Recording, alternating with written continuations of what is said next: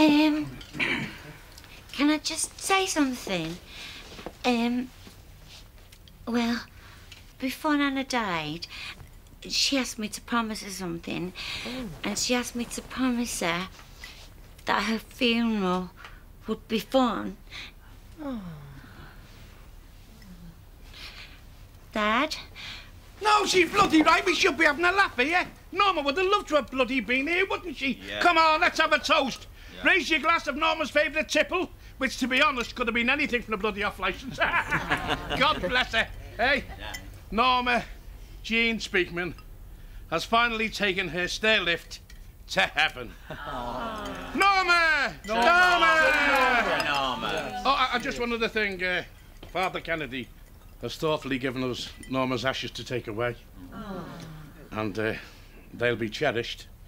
And that's why they're getting pride of place in the Royle family household. Oh. Somewhere where we'll always be reminded of her. Oh.